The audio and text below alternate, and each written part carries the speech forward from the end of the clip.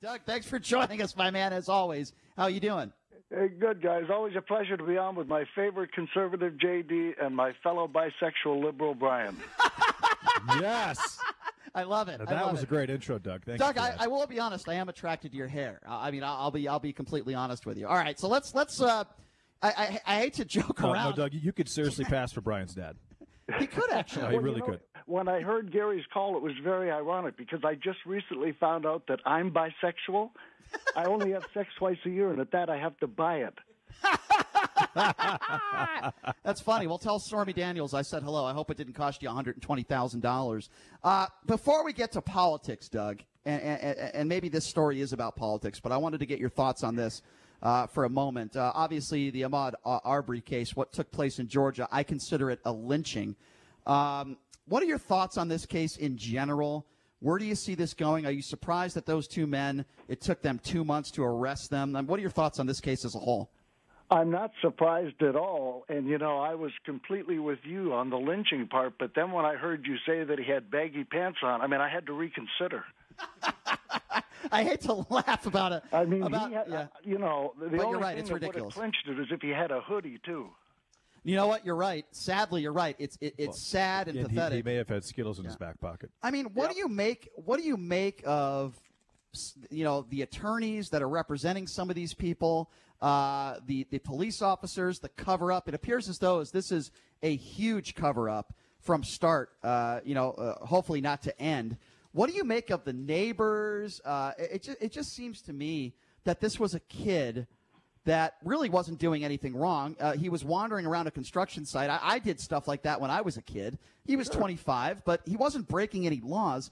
And then there are some on the right that want to make the story about him wandering through a construction site like that is uh, like that is a reason to get murdered. Or worse, when Trump brought it up and said, well, there's a little blind spot in the tape. Well, what do you think the kid was doing? That's such a great you know, point you brought nothing that he could have done Yeah. when he went out of uh, out of the screen for a few seconds that warranted him being shot and killed. Why would Trump say something like that? Why not just stick to thoughts and prayers for the family? This is a horrible tragedy. And even if he said, let's wait and let the court system play itself out, I would have been okay with that. Why does he have to the go there? to that because a he's a garbage human being, and b he was throwing red meat to his face. Yeah, I, I think you're right. I think you're right. I agree with you. I mean, the fact that he would, you know, and listen, I don't, I'm not, in no way, shape, or form am I saying if you're a Trump supporter, you're a murderer. But what I am saying is, do you think the fact that uh, one of the McMichael father, or as I like to call them, the McClans, there are pictures of this McMichael. That's what they are, McClans. Uh, there's pictures of him wearing Trump hats. Do you think Trump might have seen a picture like that, and that might have had something to do with his response the other day? I think his response would have been the same, hat or no hat, because that's just who he is. Yeah, uh, sadly, sadly, I, I, I agree with you. Uh, I think there's a lot of ignorant, racist people in that part of the country, uh, and I hope the McClans get what they deserve. Well, yeah, I mean, they, they clearly hunted Ahmaud Arbery down as if he was an animal, and it was murder one, in my opinion. Yeah. It's, it's a very, it's a very clear cut case. It doesn't make a difference if he's in a house, uh, even if even if it's a one million dollar house. Maybe it's the biggest house neighborhood's ever seen. Who cares? Right. He wants to walk through it and see what's going on. It's not like he was casing it. There, there was maybe there was a couple tools in there. What are those worth? Okay. 150 bucks. I mean, I'm it doesn't gonna- it doesn't make any Right. sense. I'm going to pull back though on what you said. On what? Uh, and trust me, you know how I feel about these two idiots. I hope they spend the rest of their lives in prison and suffer. With that being said, I'm not sure it's a clear cut murder one case. Here's why. And Doug, you could tell me if you agree or disagree with me on this. Again, I am not defending these two. I think it was murder. It was a lynching. With that being said, I'm talking about the law.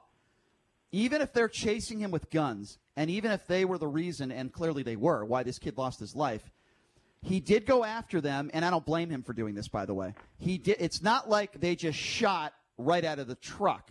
So I'm speaking from a legal standpoint. I think it might be difficult to convict them on murder one. What do you say to that, Doug? Well, it might be given where it happened, but I think a strong case could be made that anything he did was in self defense because he saw the other people had guns and he didn't. exactly. I don't disagree. He, he saw two people that were not police officers who did not have the authority Right. to, to drive up on him with guns, and, and the pursuit of him alone was assault. And after that, I believe that Doug is right that everything he did was in self defense. listen, I'm on both of your sides here. Obviously, I want these two to be. Uh, listen, if these two were, uh, you know, uh, you know, beaten up and, and, and gagged and raped every day for the rest of their lives, I wouldn't have a problem with it. Let me just be very clear on that. That was very graphic, Uh, well, you know what? I'm being honest with you. I, I hope they suffer every day for the rest of their lives. With that being said, I, I don't know if it's as clear cut as you say, but I hope you're right. I hope you're right. I hope it is clear cut. All right, Doug, let's move on to some bigger and, and uh, you know, I shouldn't say bigger and better. Uh, these are all difficult stories to talk about, including the Arbery case. But my understanding is that you've done a little bit of research when it comes to this Wuhan lab, and we're trying to figure out was this done on purpose? Was this accidental? Who exactly threw it under the rug? Who do we blame? What can you tell us, Doug? Well, first of all, the 3.7 million grant was not given to the Wuhan lab. I don't know if you guys saw 60 Minutes this weekend. it was given to EcoHealth. Yeah, Ec- EcoHealth Alliance Yeah, and Peter yeah. Daszak. Yep. That funding was renewed in, in 2019 by Donald Trump. And then Matt Gaetz goes on Fox and starts a rumor, an unfounded rumor, about a $3.7 million grant to the Wuhan lab, and, and the funding is canceled. Meanwhile, that was not the case. It was given to Peter Daszak and his organization. He gave some money to China to have access to that Wuhan viro- virology lab so that he could get some of their materials and, and uh, research but it was just a you know a few thousand dollars. The grant was not given to the Wuhan lab, and that's been done. Uh, that was exposed on 60 Minutes. It's also been exposed by FactCheck.org and PolitiFact.com.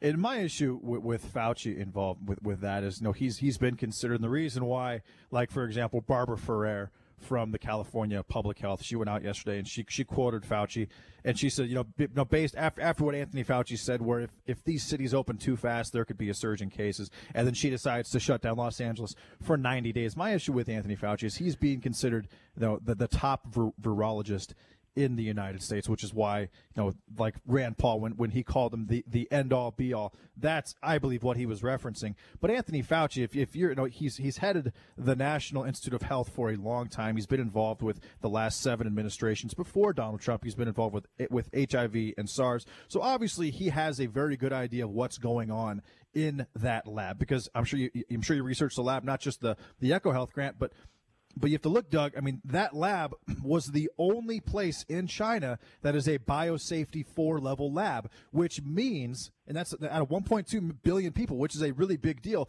But that means that they can actually work on viruses in that lab that don't have cures. So I'm shocked that Anthony Fauci, after finding out about this virus, didn't take into consideration, hmm, I wonder if this actually did escape from this lab that was a mile away from the wet market, and I'm and I'm I'm very disappointed that he But just now let that you, that, that he just let that story go out. You use the phraseology "escape from the lab." Are you inferring that it was created there?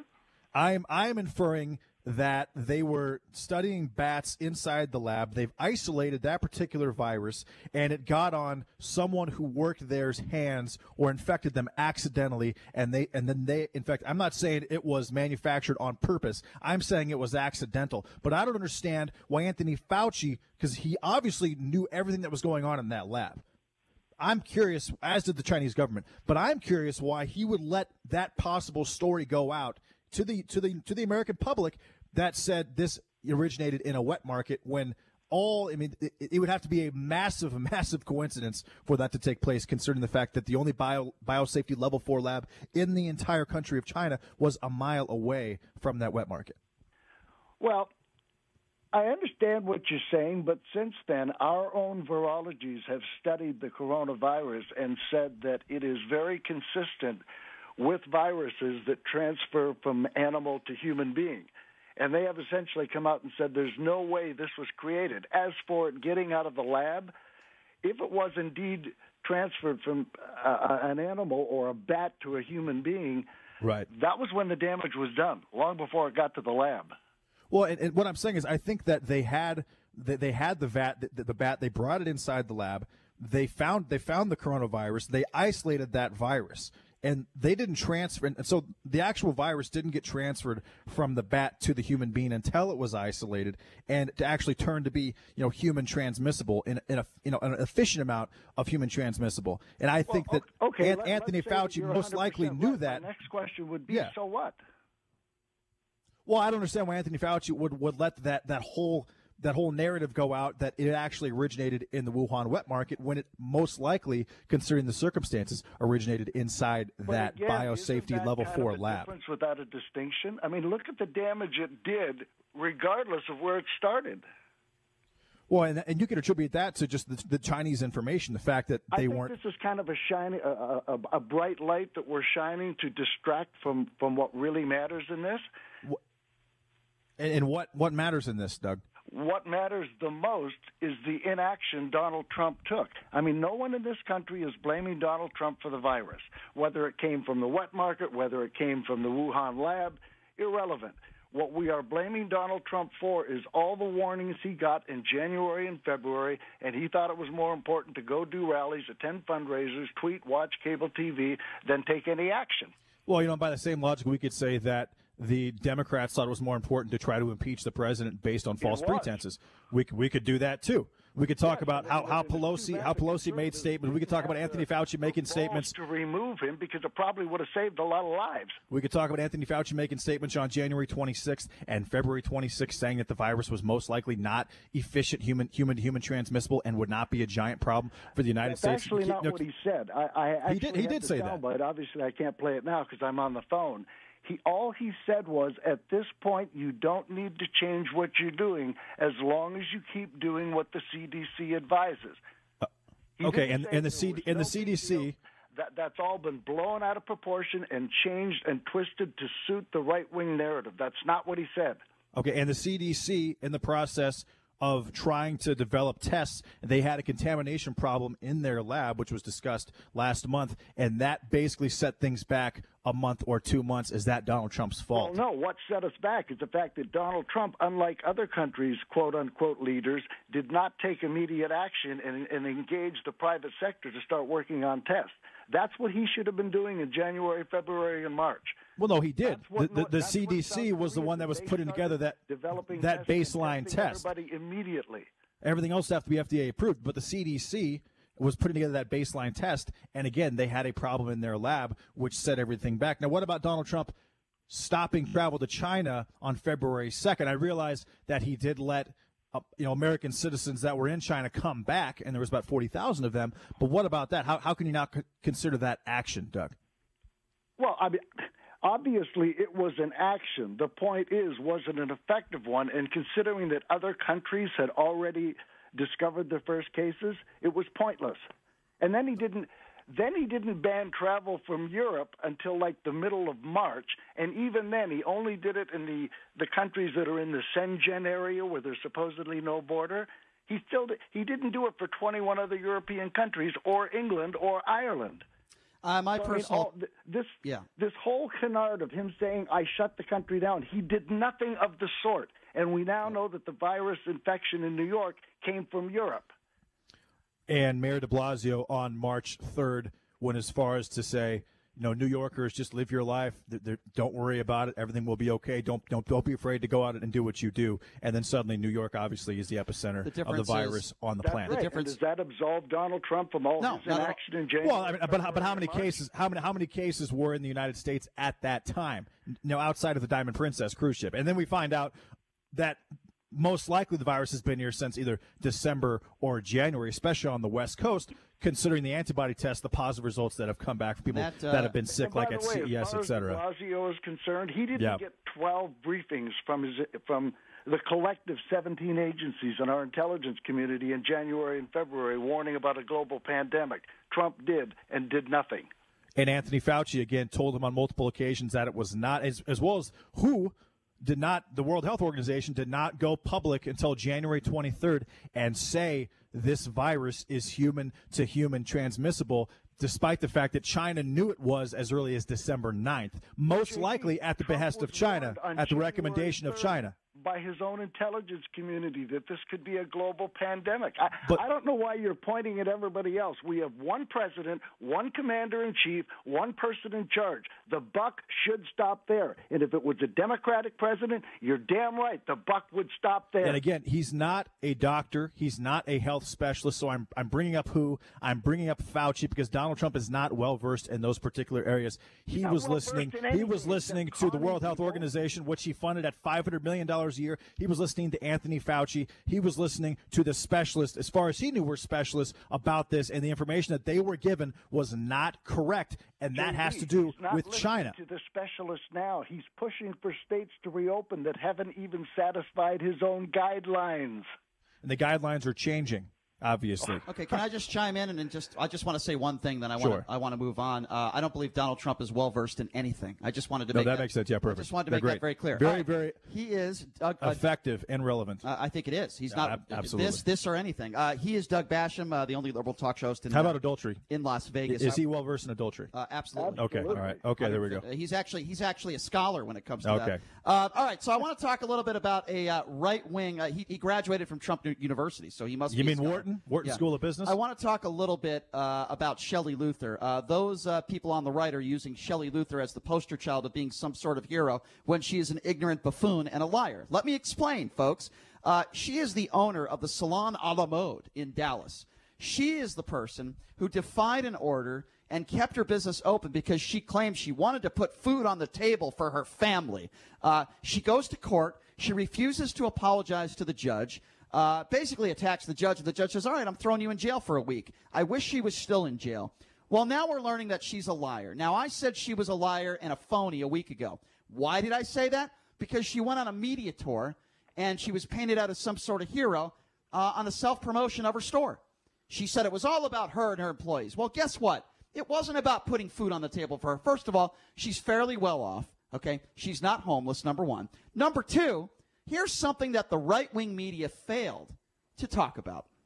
Guess what? She received $18,000 in stimulus funds from the federal government prior, let me repeat that, prior to her court date. Boy, you could put a lot of food on the table with $18,000, but the owner said she didn't know it went into her account. This is the doofus and the poster child for the hero that the Sean Hannitys of the world are painting out to be some sort of hero. Doug, what do you make of this lying buffoon? Well, not to mention the five hundred thousand dollars that was raised in a GoFundMe effort for her. I thought the best part of this story was Ted Cruz, the Canadian senator from Texas, Rafael Eduardo Cruz. He calls himself Ted, so he doesn't sound too Mexican-y. He flew from Houston to Dallas to get his haircut at this this Shelley Luther's place. It was the the most god awful haircut he's ever gotten. I mean, when he walked out of that place, I mean, he looked like somebody put a bowl on his head and just shaved around it. I mean, it was the worst haircut. Well, that's because she hasn't had a lot of practice. She, he looked like he looked like Jim Carrey from Dumb and Yeah. Dumber. That's that's what he He'll, he'll like. go back in three months. She'll have some more practice. It'll be better. But Doug, the a premise, little rusty. Keep her clothes just for the quality of the haircut she gets. Doug, the premise of this that there are dumb people throughout the country that would donate upwards of five hundred thousand dollars to a woman who lied. She lied to everybody. She said she was struggling to put food on the table. She certainly uh, looks like she's eating just fine. Her family's doing just fine. Uh, she received an eighteen thousand dollars stimulus. Yet she claimed she didn't know it entered into her bank. She didn't know. What person wouldn't know that, number one? That leads me to believe she probably has a lot of money if that was true, which I don't think it is. Uh, and she lied to the judge. She lied to the American people. She used this as a scam. Why won't anybody on the right call her out for what she is, which is a scam artist?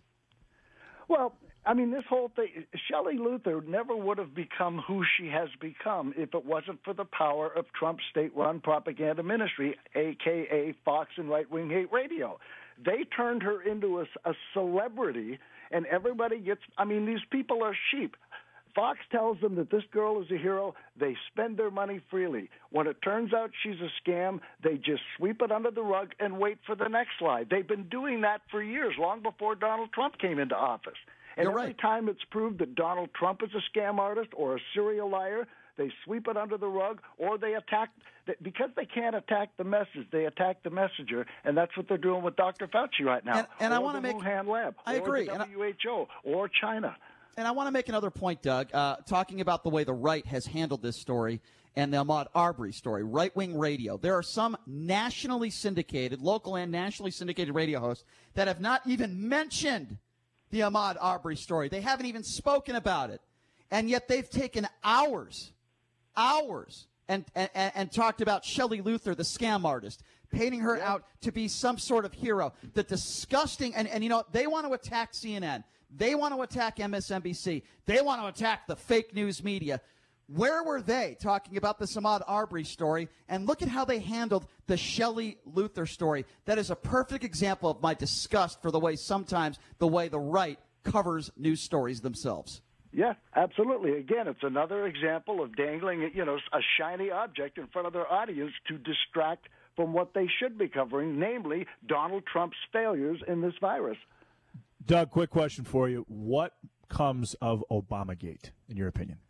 Say that again? What do you think becomes of Obamagate, the results of it? That's a good question. I don't know that the Supreme Court is going to be willing to take health care coverage away from millions of people. They weren't the last time they looked at it, and I'd be surprised if they did this time. Well, I'll tell And you I what. The, the main you think is in the middle JD of meant oh, Oba- pandemic.